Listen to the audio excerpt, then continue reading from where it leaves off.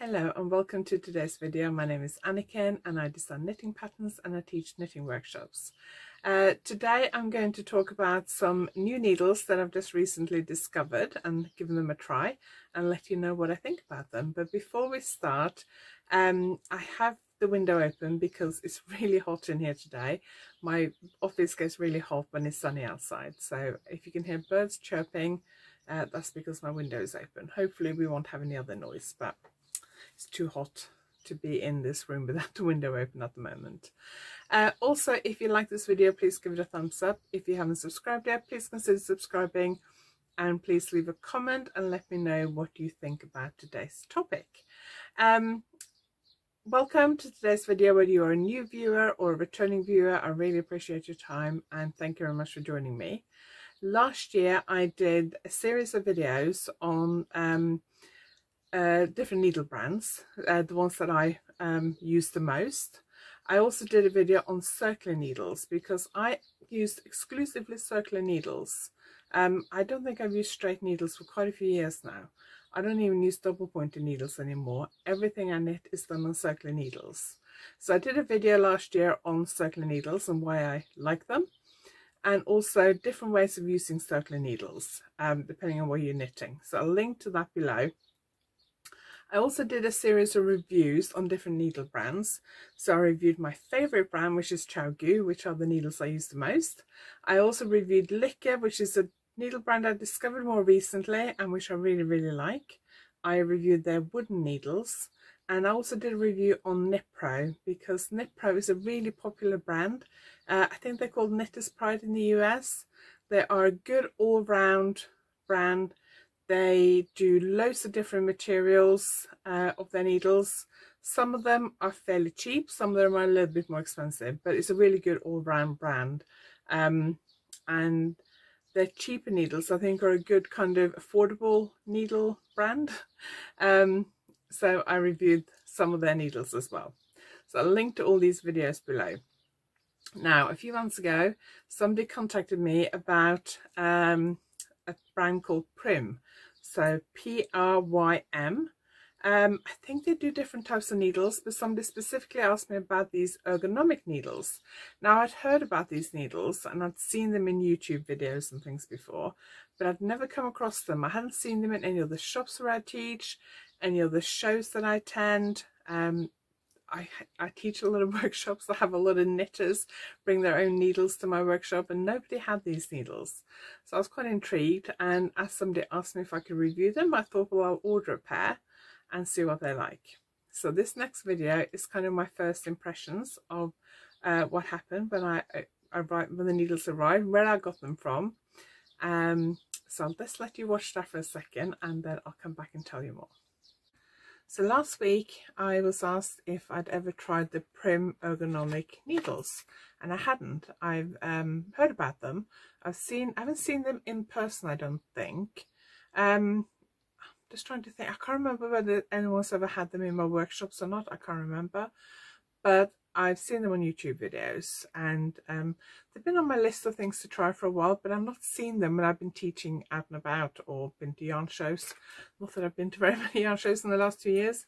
So when somebody asked me, I thought, well, let's see if I can get hold of a set and see what they're like. So I did a Google search uh, before the weekend and um, not an awful lot of options came up in the UK. Um, I only looked on the first page of Google search, to be honest. Um, but this one website came up and is woolzone.co.uk. I'm assuming it is a an actual yarn shop. Um, it's based in Oakham, Rutland, which has a Leicestershire postcode, I think. Um, but I'll put the website below. Um, I found the, um, the needles there. I wanted to get some 4mm needles, preferably 80 centimetre long cable because that's what I use the most. So I thought that would make sense to get those. Um, and I couldn't find, the website was sold out of 4mm, both 60 centimetre long and 80 centimetre long. So I actually ordered four and a half millimetre, I think. And then within minutes of placing the order, my phone rang. So I picked it up. I don't normally pick up unknown phone calls, but I picked it up and um, it was the um, lady from Woolzone who rang me and said, I'm really sorry, but the four and a half millimeter needles. I'm actually sold out of those. Would another size do? So I said, well, I actually wanted four millimeter needles, we didn't have those. I'm just buying them to try them out to see what they're like. So she said, well, actually, I do have four millimeter, 80 centimeter long cables. So I said, okay, I'll take those. So those, that's what she sent me. Um, and they arrived while I was away over the weekend. So when I came home last night, um, they were here. It's Monday morning now. So I didn't actually, I opened the packaging last night, but I didn't take them out of this packaging because I thought I would do that on camera so you can see what I think the, um, what I think of them. So um, I'm just looking at the back, but it says anything about them, not a lot. I have had a quick look online. Um, I will look again and do like a film, um, tell you what it says on the website about these types of needles but I can't remember it all now um, because it's Monday morning and I'm just about to start work. These are ergonomic needles. They have steel cables, but they are very, very light. Um, they have purple cables, which obviously I like, and purple on the needle, and it says Prym 4 millimeter. Uh, no, it says Prym 4.0.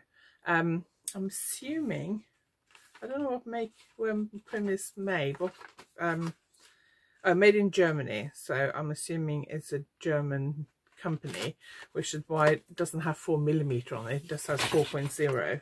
Um, so if you're not if your knitting needles are not done in millimeter, like the US sizes or whatever, then you need to be a bit careful. Um, most needles these days that are millimeter do say millimeter on them and these don't. They are, the one thing I was a bit worried about before I got these and why I thought maybe I won't like them is because the tip is really weird. Well, you can see it. It's got like a sort of bulb almost. I think they're called hook tips. So that'll be interesting.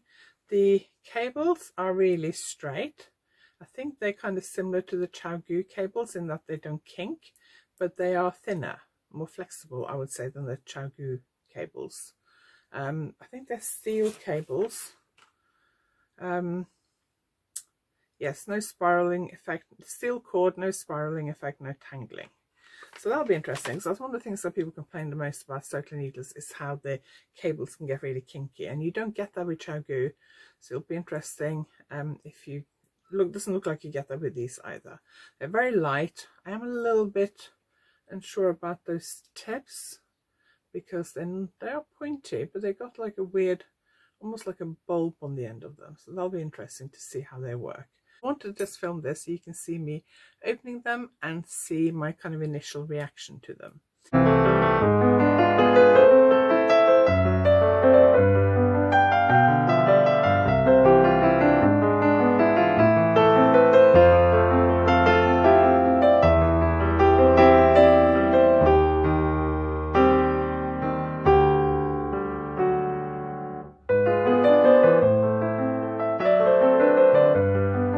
Okay,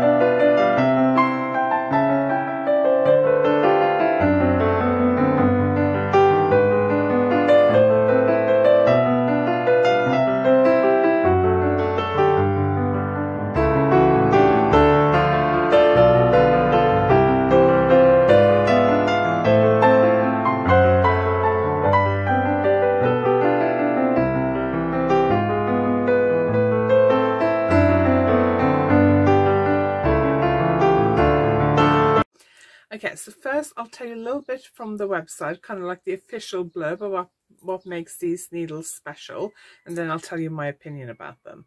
I have been using them, probably got them in like February and March. It is end of May today, so 31st of May. So I've used them for a while. I obviously haven't used them all the time. I bought four millimeter needles because they're probably the ones I use the most. And I've used them for various things on and off, probably mostly for swatching because that means I could use them more frequently for different things. So I've used them for lace knitting, um, knit and purl, garter stitch and brioche knitting. So I've used them quite a bit uh, and I do quite like them. Um, and I'll let you know exactly what I think in a minute. But first I'll just tell you uh, what kind of is on their website, but what makes them so special. So they're called ergonomic needles and um, quite often when you see things being called ergonomic you think well what makes it ergonomic um, so I'll just read what is said on their website. So these needles have these funny hook tips which I don't know whether you can see that easily. Um, the normal knitting needle kind of comes to a point like that but these have kind of these hook or bulb almost um, needle tips which I wasn't too sure about to start with. I was worried that it would make them too blunt and not good enough for things like brioche decreases and lace knitting. But actually they feel quite pointy when you knit with them. They're like point, knitting with pointy needles, even though they're not pointy, which is quite strange. But on their website it says, uh, what makes ergonomic needles so special? Hook tips. Small drop shaped ends of the needles help to guide the yarn safely and smoothly the entire and this entirely new needlepoint design is especially welcome for beginners because it will help them to avoid dropping stitches. I must admit I'm not quite sure how that will help. Um, my daughter wants me to teach her to knit again so I might get her to try these and see what whether it helps her to not drop stitches. Anyway, back to what it says on their website. Heavy users, which I assume means more experienced knitters, will also love them because even complex knitting patterns are easier to follow thanks to the needle's precision yarn control. Again, I'm not sure about how they how they make patterns easier to follow, but that's what they say. The ergonomic knitting needles are made of high performance synthetic material that's especially light and flexible. A nice side effect is that the needles are quieter during use, which means no more clicking or irritating noises. Uh, for the circular needles specifically, the tangle-free steel cord of the circular knitting needles brings an end to the annoying spiral effect. Nothing will ever twist or need to be painstakingly set right again. So that's what their website says. So let's have a look at them. So I always store my needles twisted up like that. So I when I do that, I'll show you how I do it because I always get asked this. So to store my needles and stop them from like spinning out of control, I hold one needle tip, then I loop the cable around. Depending on how long it is, I loop it around again. So if it's a longer cable, I might loop around three, four times, but once or twice, depending on the length. These are 80 centimeter, by the way, I think. Then I take one needle tip and I thread it through the middle of the needle. Then I go around through the middle the same way again. So I go through the middle and then around through the middle the same way again. That means that they stay like this and they're a bit easier to store.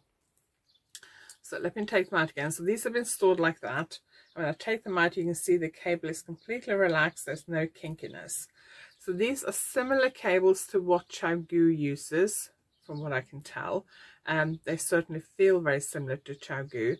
The thing I prefer about these over the ChiaoGoo cables is the fact that these are much thinner. I also like the fact that they're purple, but that's not really relevant to knitting performance. But the ChiaoGoo cables are quite a lot thicker. Now I don't actually have a ChiaoGoo cable here, uh, so I can't compare it, but the ChiaoGoo cables are quite a bit thicker. These are quite thin and I do like that. The needles are incredibly light. Um, they feel almost weightless when you're knitting with them. Um, they are quite clearly marked with the needle size. Uh, so it says Prym and then 4.0. So that's 4 millimeter. I don't know. Um, I'm not sure. I think Prym might be a German company, but I'm not sure. But I think they're definitely European, maybe might be wrong. Um, I'm not sure if you buy them in the States, whether they come with American sizes or whether they just have millimeter sizes. But other needles, um, if they have the needle size on them, they tend to say millimeter. So it might say 4 millimeter, whereas these just say, say 4.0. Um, so what I would say is if you don't knit in millimeter, if you're in the US or you use needle sizes, uh, sized in US sizes, you need to be a bit careful because it doesn't say US 4 or 4 millimeter. So the ChiaoGoos, for example, I think say US 4 and then slash 4 millimeter. 4 millimeter is not US 4. I think 4 millimeter is US 6 maybe. Um, these don't actually say that. So just be careful to make sure you're choosing the right needle size. Um, if you knit in millimeter and you buy these in millimeter, obviously that's not a problem. But if you use American sizes, you need to be aware of that. Um, so that's the only kind of, from a sizing point of view, that might be a problem. The needle tips are quite fairly long. So some needle brands let you choose between two different needle size tips, length. So some brands let you choose between a different length of tips. I think ChiaoGoo, for example, do two different needle tip lengths, at least for their interchangeable set. These just come in one set. Let's got my tape measure. Let's see how long these needle tips are. So the needle tips are 13 centimeters, which is about five inches, which is actually when I buy ChiaoGoo needle tips for the interchangeable set because they do a choice between I think it's four and five inch tips and I always buy the five inch tips because I've got quite big hands and I like needle tips that are slightly longer than the width of my hand when I hold them like that because that's how I hold them to knit. Um, so as I said, I've knitted quite a few things with these. I've knitted uh, lace, stocking stitch, knit and purl, garter stitch, and recently I've been uh, knitting quite a lot of brioche. Now brioche decreases especially can be a little bit tricky if you have needles that are not very pointy. And I was interested to see how these uh, stood up to the brioche decreases and they actually work really well. So I'm quite impressed with that. Um, I do quite like them for the way they work with the brioche decreases. So I have no complaints about these. I do like them. Now, will I throw away my ChiaoGoo set and buy loads of these? Probably not. Um, I If I come across them, I might buy some more. Um, I don't know if they do an interchangeable set or not. I haven't seen them. It's not that easy to get hold of these in the UK. Now, I don't know whether that's because they're a mainland European brand and maybe they're more common in other European countries. I do go to quite a few yarn shops in Norway when we go to Norway and I don't think I've ever seen them in yarn shops in Norway either.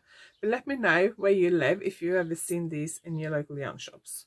Um, I really like them and if I come across them I might buy more but I'm not going to rush out and buy more just for the sake of it because I have loads of needles so I don't really need any more. But if you're investing in a, a new set of, uh, of circular needles you might want to consider these, especially if you get pain in your hands. Um, I don't get any hand pain despite the fact that I knit a lot so I don't know whether these help reduce hand pain at all. Um, I would also say they're using circular needles a straight needle may reduce hand pain and um, also knitting with um, continental style rather than English style may also help reduce um, pain in your hands and wrists because your movements are smaller. So I can't say whether from ergonomic point of views these actually make a difference because I can't tell the difference. So I do knit quite a lot on an average day. I knit um, probably about half an hour to an hour in the morning, um, couple of, an hour at lunchtime, out half an hour mid-morning, a couple hours in the afternoon and then I basically knit all evening. So I do knit quite a lot every day, but I don't have any problems with my hands. Hopefully I won't develop any problems with my hands either. So from the ergonomic point of view, I don't, I can't really judge these or uh, give my view on these over the needle brands I normally use because I don't know. But I do really like them. Um, very, very light. Um, I will be going on a holiday soon. I'll be going on a flight. So I take my metal ChiaoGoo needles on flights with me. But I might consider taking these next time because I think the project I'm taking, I need four millimeter needles, which these are. So I might take these because I think they're less likely to break than my wooden Lykke needles. I'm a little bit cautious about packing wooden needles in my luggage in case I pack too much and accidentally break them because I've done that before. Uh, so these might be an alternative because there is always the risk when you take metal needles that they might decide to, decide to confiscate them. Although in the UK they are actually on the list of things you're allowed to take on a plane with you and I've never had any problems. So, um, but yeah, I really like them.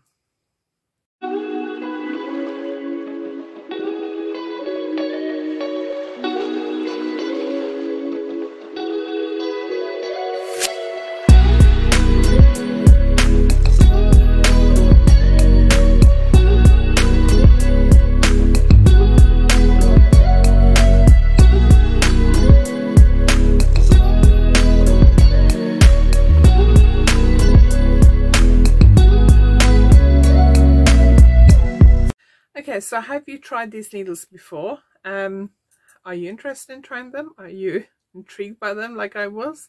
Um, I still quite don't understand how these tips, these kind of hook tips work as well as they do. I'm kind of fascinated by them, but I really like them and I will continue to use them. Uh, and I may buy the old extra set in some of the other sizes I use a lot. Um, let me know if you've tried them and what you thought of them. Um, especially if you get any hand pains or tiredness in your hands when you knit a lot, do these make a difference? Um, because I can't give my opinion on that because I don't have a problem with it.